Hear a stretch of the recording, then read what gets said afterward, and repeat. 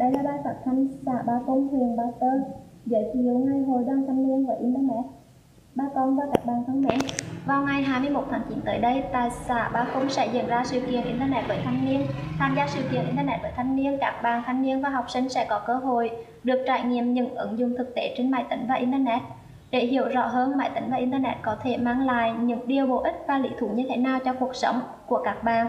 Đây là sự kiện thuộc khuôn khổ dự án nâng cao khả năng sử dụng máy tính và truy nhập Internet công cộng tại Việt Nam do quỹ Bill and Melinda Gates tài trợ.